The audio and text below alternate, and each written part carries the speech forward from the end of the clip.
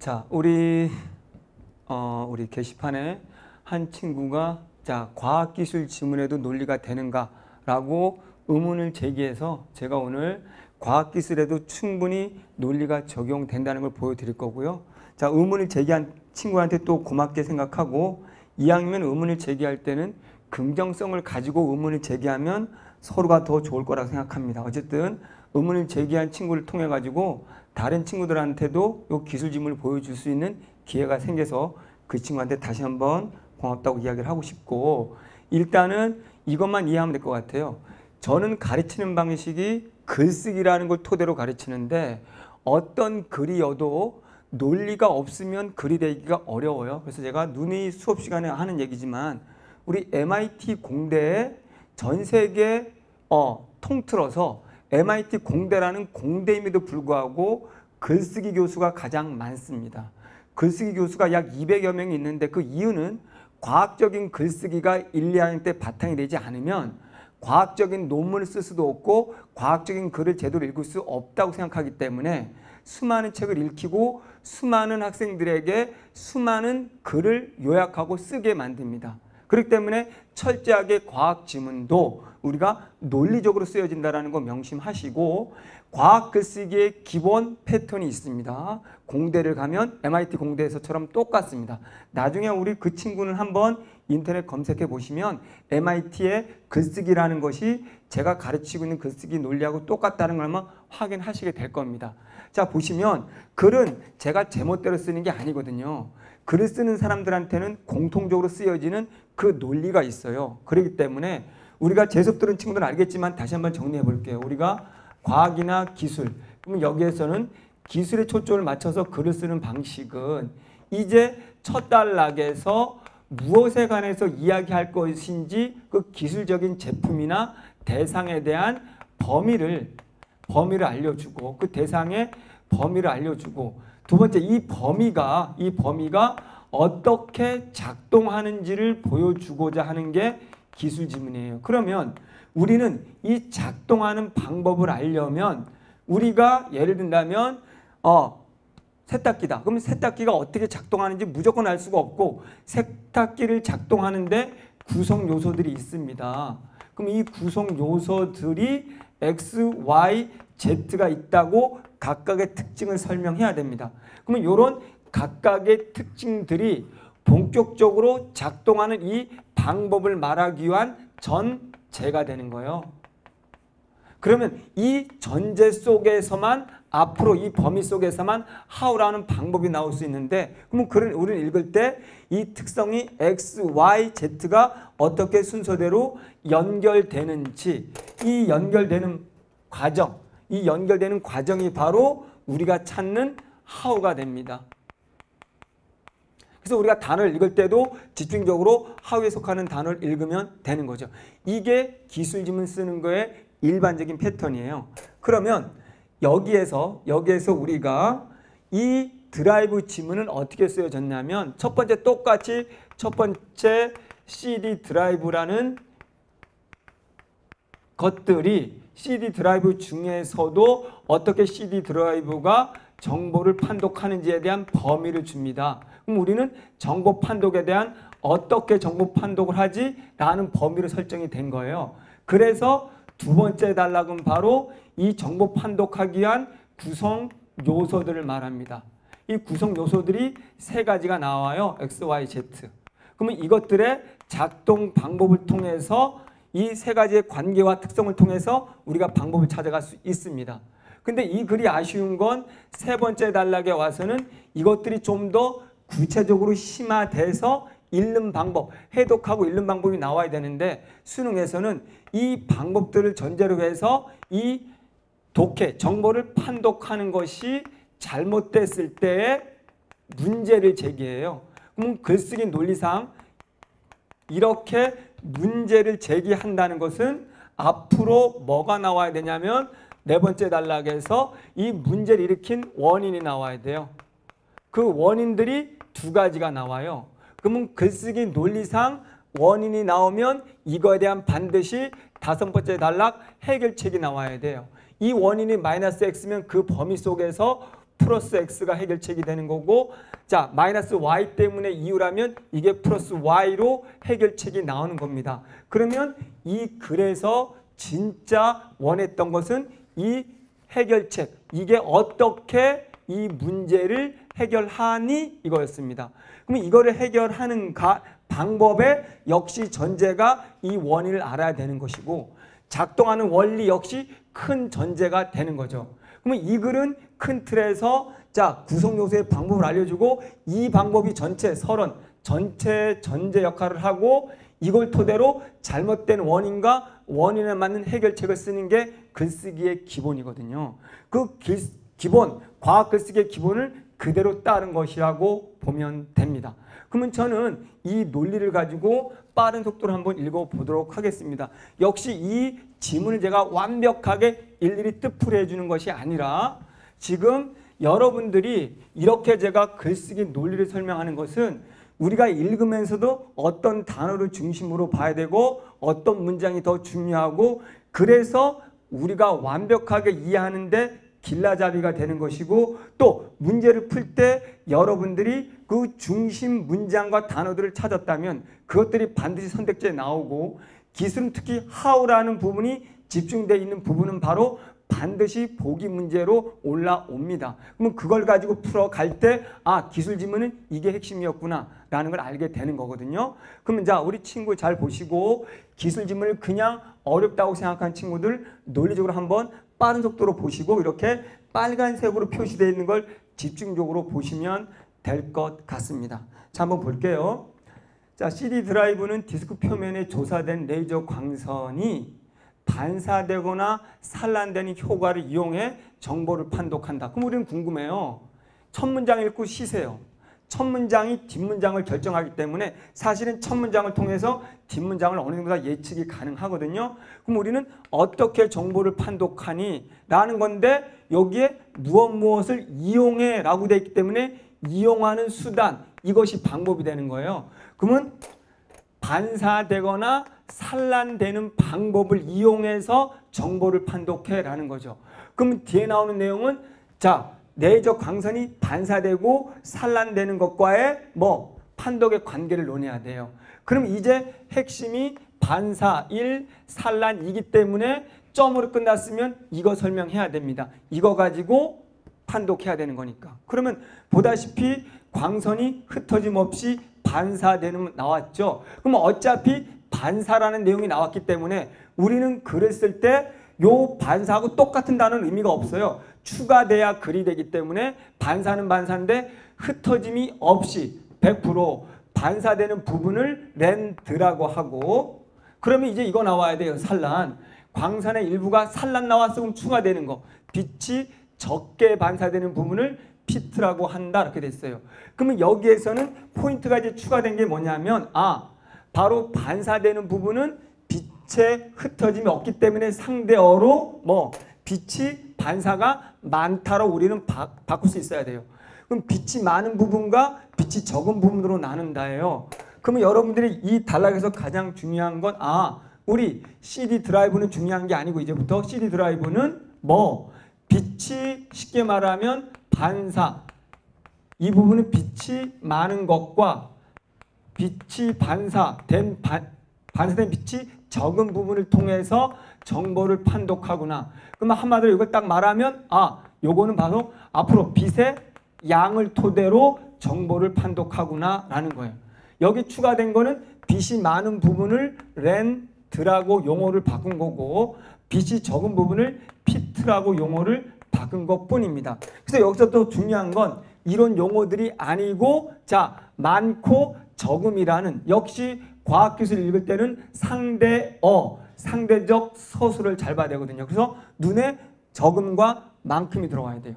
이거를 놓치고 읽으면 그 다음부터 읽을 수가 없고 정답을 못 맞춥니다.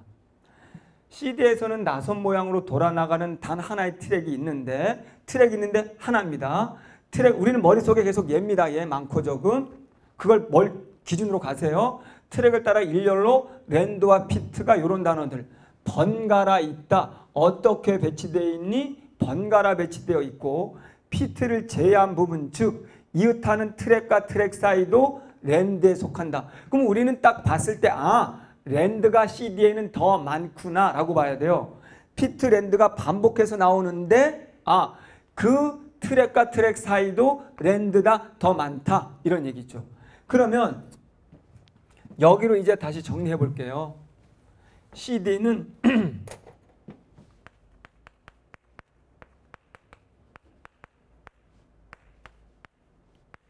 이렇게 되는 거예요.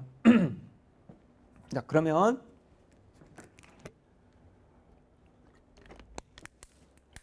자, 여기서 여러분들이 정확히 이해를 못 하더라도 하나의 트랙이 있다. 그러면 하나의 트랙, 두 개 트랙에는 그러면 나선 모양으로 나가는 트랙, 요런 나선 모양 그림을 그려볼게요. 그림이 이해가 필요 없는 거예요. 여러분이 그림까지 그릴 수 있으면 굉장히 좋습니다.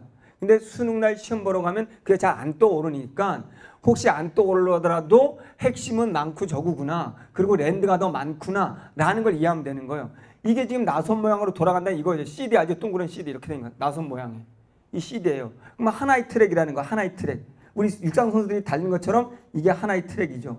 그러면 트랙에 따라서 랜, 이 안에 랜드 피트, 랜드 피트가 있단 말이죠. 그러면 무슨 소리냐면 우리 정확히 말한다면 몰라도 되지만 지식을 설명하면 지식으로 풀면 안 돼요. 지식 랜드라는 측면이 있고 피트라는 측면이 있는데 자세히 다, 자세히 들어가면 랜드라는 부분은 홈이 파이지 않았고 피트라는 부분은 홈이 파여서 빛이 반사되는 게 피트는 적고 다시 돌아오는 게 랜드는 많은, 많은 거예요. 그런 거 알 필요가 없는 거예요. 그럼 여기는 딱 하나 다 때려치고 CD 드라이브에서 정보를 판독하는 방법은 랜드랑 피트로 한다. 그 말은 다시 말하면 빛이 많고 적음으로 정보를 판독한다. 이게 끝인 거예요. 그럼 앞으로 이제 여러분이 궁금한 건 이제 뭐야? 그러면 빛이 많고 적음을 어떻게 판독해내지? 또 한 가지는 빛고 빛의 많고 적음이 어떻게 정보, 여러분 영화 아니면 음악이라는 것들을 어떻게 읽어내지 이게 나와야 된다는 거예요. 기술이니까 어떻게 해야 되기 때문에. 그래서 우리는 그걸 가지고 어떻게라는 걸 가지고 그러면 우리는 빛이 많고 적음을 읽어내려면 핵심이니까 읽어내려면 역시 기술이니까 그 CD 드라이버에 구성 요소가 나오고 그 다음에 그것들의 각각이 뭐 작동하는 방법들이 나와야 된다는 거예요. 그러면 실제로 한번 가봅시다. 이걸 가지고 수능 지문들 나온 거 기술 지문 다 풀어보세요. 다 이런 글쓰기 패턴으로 돼 있습니다. 자, 그래서 이 CD 드라이브는 이제 나오는 거죠. 디스크 모터라는 거 첫 번째, 그리고 광 픽업 장치 두 번째, 세 번째가 광학계 구동 모터로 구성된다라고. CD 드라이브가 빛의 많고 적음을 찾아내기 위한 방법을 구성 요소를 설명한 거예요. 그래서 디스크 모터. 그리고 광 픽업 장치 그리고 광학계 구동 모터입니다. 그러면 안 봐도 순서대로 얘 특성, 얘 특성, 얘 특성 하우에 해당하는 단어를 찾으면 읽으면 돼요. 그러면 순서대로 디스크 모터는 회전. 그럼 하우에 속하는 것이 어떻게 어떻게 하는 방법, CD를 회전시키는 방법. 얘 또 읽으면 되죠. CD 아래에 있는 이런 것도 중요해요. CD 아래에 있단 말을 그냥 위인지 아래인지 과학 지문에서 알아둬야 되거든요. 아래에서 위로 쏘기 때문에 선택지에서 빛이 아래에서 위로 간다고 선택지를 만들기 위해서 넣는 거거든요. 아래에 있는 광픽업 장치는 내정서를 발생시켜 CD 기록면의 조사, 아래에서 위로. 그럼 다 때려치고 빛을 쏜다라는 걸 여긴 조사 이렇게 한 거고요. 자, CD 기록면에 조사하고 CD에서 반사된 그럼 여기서 반사하고 다시 튀어나오는 거죠. 받은 거 광픽업 장치 안에 있는 광검출기가 받아들인다. 그러면 광픽업 장치는 쏘기도 하고 그 안에 더 새로 추가된 게 광픽업 장치에서 광검출기라는 애가 하나 더 추가된 거예요. 그러면 광검출기 얘가 얘는 쏘고 얘는 받아들이고 이렇게 된 거죠. 그러면 하는 기능 받아들이다는 거죠. 그러면 사실 여러분 머릿속에는 얘가 제일 중요하겠죠. 얘가 왜 중, 제일 중요할까요? 얘를 통해서 빛을 받아들였으니까 그 반사된 빛이 많으면 랜드, 적으면 pit를 얘가 구분해낼 거 아니에요. 이런 것도 논리상 다 알아야 되는 거예요. 앞에 전제가 land pit, 빛의 많고 적음이라는 걸 머리 논리적 범주를 갖고 있어야 되기 때문에. 자, 그래서 넘어갈 수 있는 거죠. 광선의 경로상에 있는 focusing 렌즈는 광선을 트랙의 한 지점에 사실은 필요 없는 부분이에요. focusing 렌즈도 우리가 나오지만 또 추가됐지만 얘는 그냥 선택지 하나 만들려고 트랙의 한 지점에 모으고 광 검출기는 다시 얘가 나왔어요. 그럼 사실 논리적으로 그걸 쓰려면 요건 살짝 빼야 되는 거죠. 광 검출기 나왔을 때 같이 글을 이어가야 이게 글의 흐름을 이어가는 거거든요. 그러면 광 검출기는 반선의 광천의 핵심 나왔잖아요. 광선의 양을 측정하여서 land pit의 정보를 읽어낸다. 우리가 궁금한 건 이거였죠. 그렇기 때문에 이 광선의 양이라는 게 그냥 나오는 게 아니잖아요. 그럼 양이 많으면 land, 적으면 pit라는 거죠. 그러면 바로 이 얘기를 했어야 되는 거고 요건 살짝 쓸데없는 거죠. 선택지 하나 만들어 보겠다고 낸 거죠. 자, 그래서 이때 CD에 이제 남은 건 얘잖아요, 순서상. CD의 회전 속도에 맞춰 이렇게 됐는데 광학기 구동 모토 얘는 CD 장치를 CD의 이런 거 중심부에서 바깥이냐 바깥에서 중심이냐 그리고 얘가 이동하는데 직선이냐 곡선이냐 직선이라는 거죠. 자 그러면 여기서 중요한 건 중심부에서 바깥 직선 이렇게 그럼 우리는 시험 문제 이게 그대로 나옵니다. 과학기술 지문 시험 문제 내는 방법은 요것들이 두 개 이상 나오면 요것들의 작동 방법의 기능에 차이를 묻습니다. 차이를 구분해 놔야 되는 거고 그러면 얘네들을 가지고 이제 핵심인 우리가 궁금했던 랜드와 피트를 구분하는 게 나왔어요. 그럼 이제 우리 여기까지 구성 요소와 작동 방법 하우를 알았잖아요. 그러면 진짜 궁금한 건 랜드, 피트. 그럼 빛이 많을 때, 적을 때 정말 만약에 노래다, 영화다. 그럼 어떤 장면은 어떤 노래는 랜드일 때 어떻게 이게 노래로 나오고 어떻게 우리 그림으로 나오고 이게 더 심화돼서 원래는 나와야 되는 거예요. 그래서 그거를 기대했는데 이젠 그게 아닌 거죠. 요번에는 이제 전제로 이렇게 찾아낸다라고 하면서 그 다음에는 정보 판독 제대로 안 될 때로 문제를 제기하죠. 자, CD의 고속 회전 등으로 진동이 생기면 문제가 생겼어.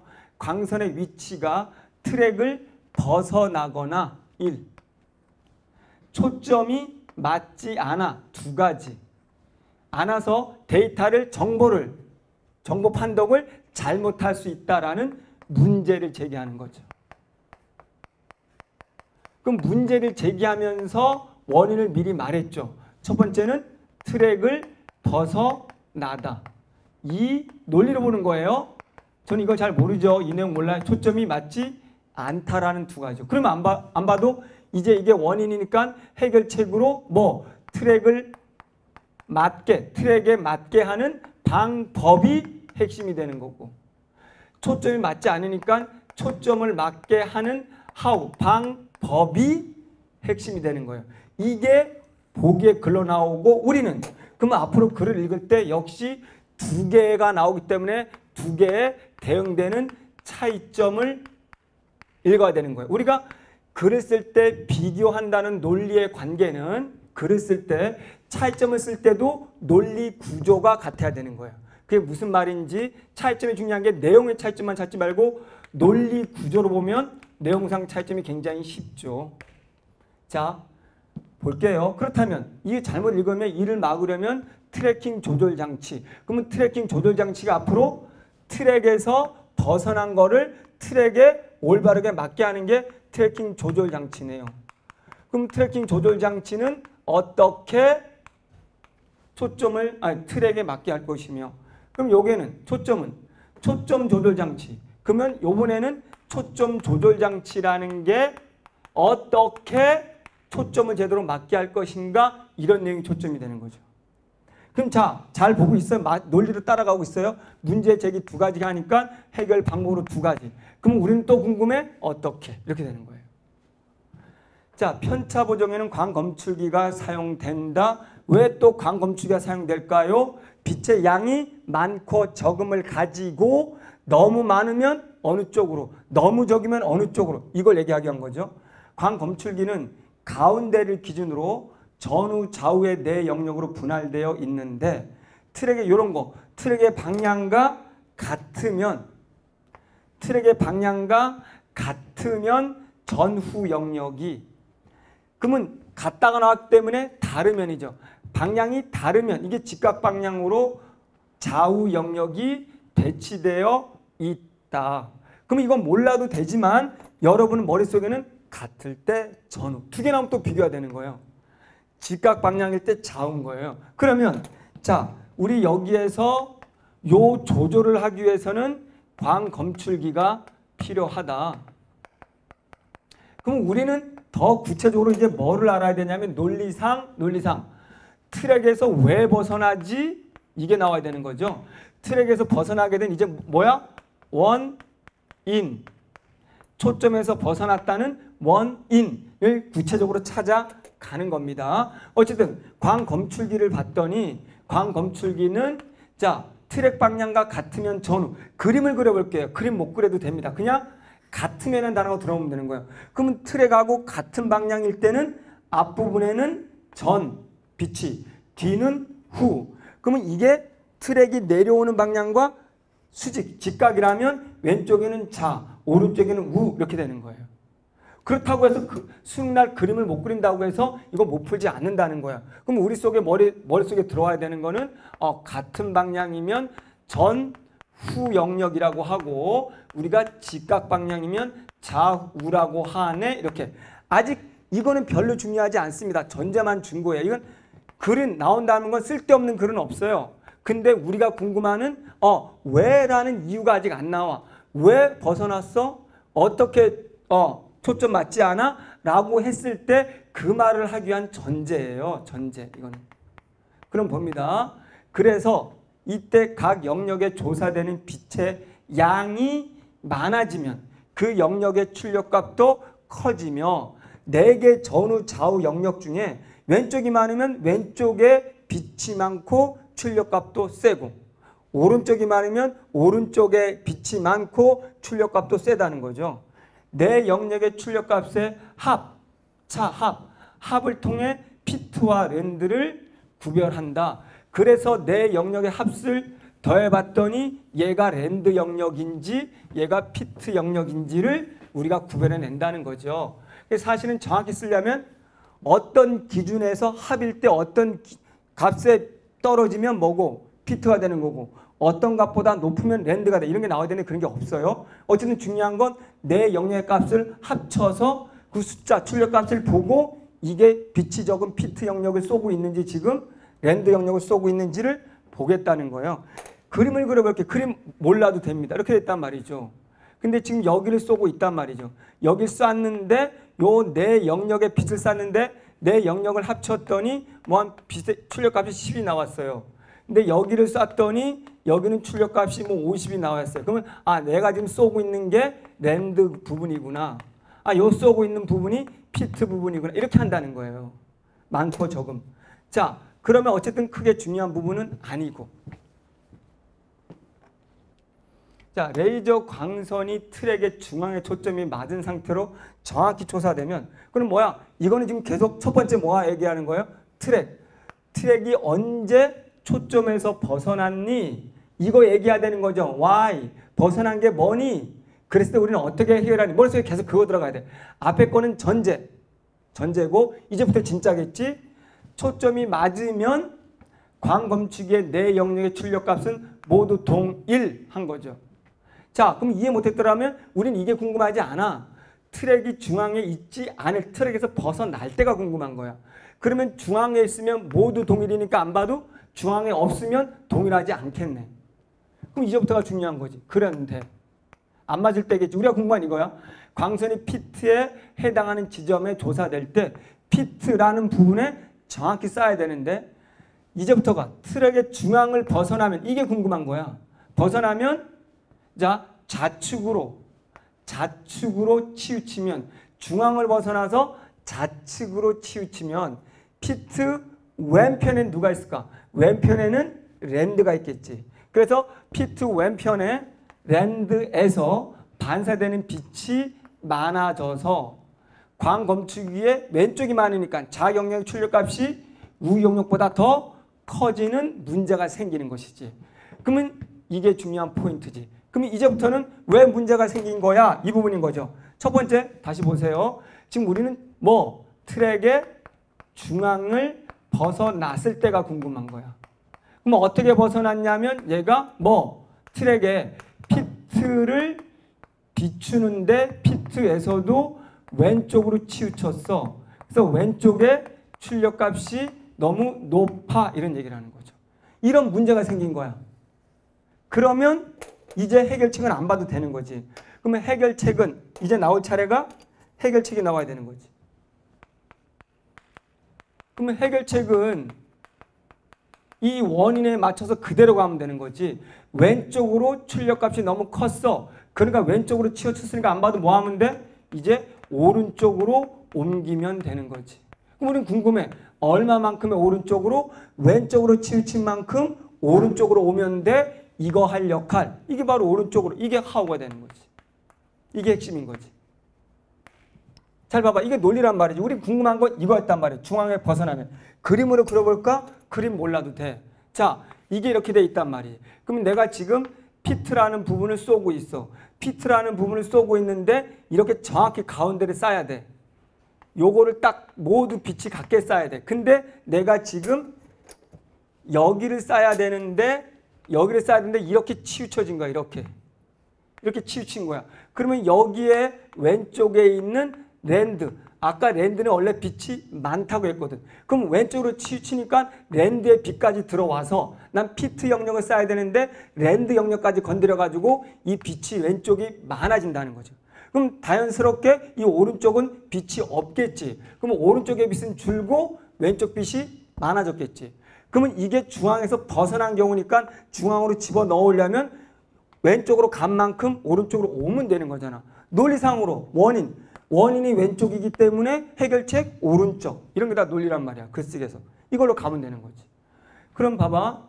그래서 해결책. 이 경우 두 출력값의 차이에 대응하는 만큼 tracking 조절 장치를 작동하여 광 픽업 장치를 뭐 오른쪽으로 어떻게 출력값의 차이 오른쪽으로 치우친 값과 왼쪽에 치우친 값의 차이 오른쪽과 왼쪽의 값의 차이만큼 그래서 오른쪽으로 이동하라 이런 얘기지. 그럼 만약에 논리상 이것도 물어볼 수 있겠지. 만약에 내가 어디로 치우쳤다면 이 그림에서 중앙에 피트를 쌓아야 되는데 이것이 지금 이렇게 오른쪽으로 치우쳤다면 오른쪽이 너무 많으니까 뭐 왼쪽과 오른쪽의 출력값의 차이만큼 왼쪽으로 이동이라는 것도 논리적으로는 알 수 있는 거지. 이걸 물을 수 있단 말이지. 그래서 중요한 건 다 때려치고 이제 꼭 보기 문제에서 물을 수 있는 건 바로 이 부분이란 말이야. 오른쪽으로 그 왼쪽과 오른쪽의 차이, 출력값의 차이만큼 빼서 차이만큼의 오른쪽으로 이동 이렇게 된 거죠. 이게 해결책이 되는 거예요. 그래서 우측으로 치우쳤을 때도 똑같은 방식이라는 건 내가 좀 전에 설명한 거지. 그럼 이제 논리상 뭐가 나와야 돼? 이 해결책이 끝났으니까 요번에는 뭐야? 두 번째 초점이 맞지 않을 때가 나와야 된다. 우리가 뭐가 나올 차례가 알아야 되는 거지. 그럼 역시 초점이 맞지 않을 때도 이제 그 원인들을 설명하고 이거에 맞는 해결책을 설명하겠지. 그래서 시험 문제는 이 해결하는 방법에 두 가지를 차이를 묻겠지. 이렇게 되는 거란 말이야. 그렇다면 자 해볼게. 한편 광검출기에 조사되는 광선의 모양은 초점, 이제 초점 얘기 나오잖아. 나올 차례. 초점. 초점의 상태에 따라 전 후나 좌우의 방향으로 길어진다. 그럼 상태가 길어진 거는 초점에 맞지 않는 거야. 그럼 이게 중요한 거 아니야, 우리는 지금. 그러면 또 어떤 어느 쪽으로 더 기울어졌는 길어졌는가? 그럼 어떻게 해결하는 거야? CD 기록면과 포공식 렌즈 간의 거리가 이제 가까워지면 이게 중요하지. 상대선으로 가까우냐 뭐냐. 광선의 초점이 맞지 않으면 됐어. 이제 궁금한 이제 초점이 맞지 않을 때가 나와. 초점이 맞지 않을 때가 바로 언제냐면 focusing 렌즈랑 CD 기록면 아까 말하면 CD면이 있으면 focusing 렌즈 쏘는 애 얘 얘 얘랑 얘 면이 너무 가까우면 안 맞아 너무 멀어도 안 맞아 이런 얘기야 그러니까 눈에 들어와야 될 게 상대 서술로 거리가 너무 가까우면 모양이 요거 아까 전후좌우 하고 했는데 요거 전후로 길어지고 그러면 정리해 문제점 초점이 맞지 않을 때 중에 너무 가까워서 초점이 안 맞을 경우의 상태는 전 후가 길어진다. 그럼 논리상 된 거야. 상대요. 그러면 초점이 너무 얘네들이 뭘 가까우니까 논리상 뭘 그럼 안 봐도 전우가 아니고 나머지 좌우가 길 이렇게 되는 거지. 그럼 이제 논리상 뭐가 나올지 다 알게 되는 거지. 너무 가까우면 어떻게 하면 돼? how? 좀 멀게 하면 되고 너무 멀면 어떻게 하면 돼? 가깝게 이동하면 돼. 근데 중요한 건 그럼 어떻게? 앞에서도 차이로 차이만큼 이동했잖아. 그럼 얘네들도 어떤 차이만큼 멀게 또는 가까이 하느냐 이게 나와야 될 차례잖아. 반면 우리가 예상한 그대로 나올 거야. 거리가 멀, 멀. 요게 예상한 대로 멀. 그러니까 기술이기 내용이기 이전에 글의 논리상 두 개씩이 나오니까 둘의 논리 구조가 맞춰서 움직인다는 얘기를 하고 싶은 거예요. 과학기술의 내용을 따라가는 것이 아니라 멀어지면 좌우 우리가 좌우 영역으로 길 예상한 대로 예측한 대로 그대로지. 좌우가 길 전우가 길. 그럼 이제 얘네들은 어떻게 빼냐 더하냐 이게 나와야 되는 거지. 출력값도 상대적으로 커진다. 이때 광검축에 잘봐. 전후 영역의 출력값을 이런 거 합과 좌우 영역의 출력값을 합. 그런 다음에 둘의 차이.